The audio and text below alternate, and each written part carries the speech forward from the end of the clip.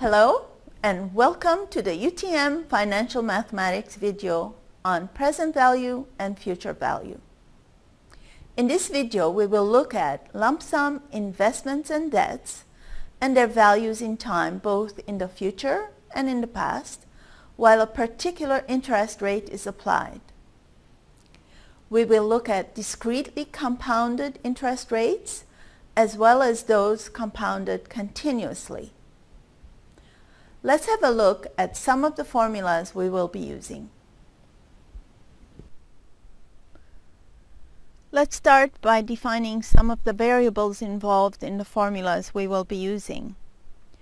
If we know the future or accumulated amount of an investment, let's call it S, and we would like to find the starting investment amount, let's call that P, we would use the present value formula. This is given by P equals S times 1 plus R to the power minus N. On the other hand, if you are given the present value of an investment, let's call it P again, and you want to find the future or accumulated amount S, you would use uh, the future value formula given by S equals P times 1 plus R to the power N. Let's take a closer look at these two formulas. Here, R is the periodic rate and is given by APR divided by the number of periods per year. APR, also known as annual percentage rate, is the nominal interest rate, for example 6%. The number of periods per year is determined from the wording. For example, quarterly compounding would mean four times a year, Semi-annual compounding would mean two times a year. Weekly compounding would then be 52 times a year. N is the total number of periods in the question. For example, an interest rate of 6% compounded quarterly for 8 years gives a periodic rate of R equals 6% or 0.06 divided by 4 since it's quarterly compounding which is equal to 0.015 and n is equal to 8 times 4 once again it's times 4 since it's quarterly compounding for a total of 32 periods. To help us determine which of the two formulas to use, present value or future value, we will make use of timelines. Here's how. Step 1. Draw a timeline, if applicable, and indicate the amounts at the appropriate year or years. The amounts I'm referring to are what you are given and what you need to find. Before I go on to step 2, I should mention that at this point it would be advisable to put an arrow from what you what amount you are given to the amount you need to find. Step 2. If the arrow points to the left, you would use present value. Let's look at this image closely. Here, S is given in year 5 and you are trying to find what is p equal to in year 0, or now. And the arrow, therefore, points to the left, and you would use present value. If the arrow points to the right, you would use future value. Let's look at the image again. Here, you are given p, and you want to find what is s equal to in the future, five years from the beginning and therefore you would use future value. Step 3, write out what you are given in the word problem. This means write what is R equal to, the periodic rate, and what is N equal to, the total number of periods. Step 4. Choose the correct formula and solve for the unknown variable. Here's an example on future value. Suppose that you invest $5,000 into the bank today. If nominal interest is 6% compounded monthly, how much will you have after three years? We start with a timeline. On the timeline, notice that we have marked the 5,000 in year 0 and s equals a question mark in year 3, since that's what we need to find in this question. Also notice that the arrow is pointing to the right. Here is a list of the givens. We have that P equals 5,000. and since interest is compounded monthly, the periodic rate R is going to be 6% or 0.06 divided by 12, which is equal to 0.005. And N will be 3 times 12, 3 years times 12 times a year, monthly compounding equal to 36. Using the future value formula S equals P times 1 plus R to the power N, we get S equals 5,983.40. In conclusion, after three years, you will have $5,983.40 in your bank. Here is an example on present value. Suppose you have $5,000 in the investment now. If for the past seven years, interest on this investment was at an APR of 6% compounded quarterly, how much was the initial investment? We start with a timeline. On the timeline, notice that I have put the $5,000 in year 7 and p equals question mark in year 0. This is because we're looking in relation to $5,000 now, what was its value seven years ago. Also notice that the arrow is pointing to the left. This means we will be using present value. Next, we make a list of all the given values we're given that S equals 5,000. Since interest is compounded quarterly, we'll have the periodic rate equal to 6% or 0.06 divided by 4 due to the word quarterly. This equals 0.015. And of course, n is going to equal to 7 times 4 equal to 28 using the present value formula P equals S times 1 plus R to the power minus N, we get that S equals 3,295.50.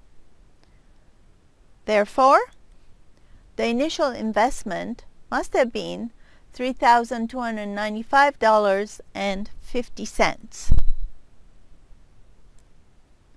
Let's look at interest compounded continuously.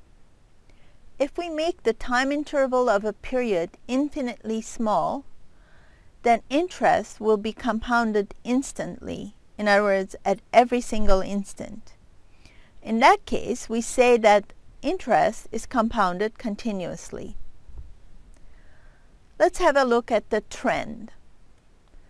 Semi-annually would mean twice a year while quarterly means four times a year. Monthly compounding would be 12 times a year. And daily compounding would be 365 times a year, quite often. Looking at continuously, what we mean is infinitely many times a year compounding. Future value for continuous compounding is given by s equals p times e to power r times t, while present value for continuous compounding is given by p equals s times e to the power minus rt. Here, P is the principal amount invested at the beginning, R is the annual percentage rate as a decimal, T is the number of years it takes to accumulate, and S is the compounded or accumulated amount. Here's an example on interest compounded continuously. Suppose you have a debt of $2,000 payable at the end of two years. If you decide to pay off the debt now with interest compounded continuously at 6%, how much should you pay to settle this debt? We start the solution by drawing a timeline. Notice that we have put the $2,000 in year 2, while P equals question mark is in year 0, and the arrow is pointing to the left. Here are all the given values. S is equal to 2000. In this case, the rate is R equals 6% or 0.06 and T is equal to 2 years. Since we want to calculate the present value, remember the arrow is pointing to the left, we will use P equals S times e to the minus RT and putting the values in to this formula, we get that this is equal to 1,773.84. Therefore, you should pay $1,773.84 to settle your debt now. Now that we have had a discussion of present value and future value, both for discretely compounded and continuously compounded interest rates, we will use a timeline to determine which of the formulas to use. Present value or future value, discrete or continuous compounding. Here's a checklist for solving present and future value problems. Start by highlighting all the given variables and identify them. Draw a timeline to determine whether to use the present or future value formula, or both.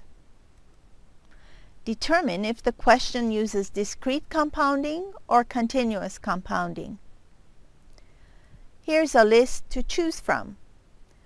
For discrete compounding, we have future value given by s equals p times 1 plus r to the power n, while present value is given by p equals s times 1 plus r to the power minus n. For continuous compounding, future value is given by S equals P times e to RT, while present value is given by P equals S times e to the minus RT. Substitute the given variables into the formula and isolate for the unknown variable. And finally, write a concluding sentence. Here's an example on a combination of two scenarios. Suppose you have a debt of $2,000 due now and another debt of $6,000 due in five years. You plan to pay off both debts with one single payment in year three.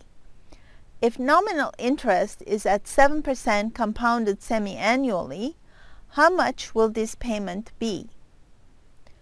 We start the solution by drawing a timeline using year 3 as our reference year.